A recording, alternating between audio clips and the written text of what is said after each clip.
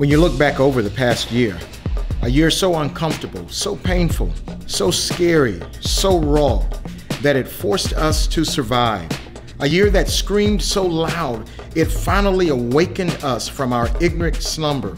A year that we finally accepted that we needed God. A year we realized God kept us, God brought us, God sustained us. This may be the most important year of all because this is the year that we go from survival to revival.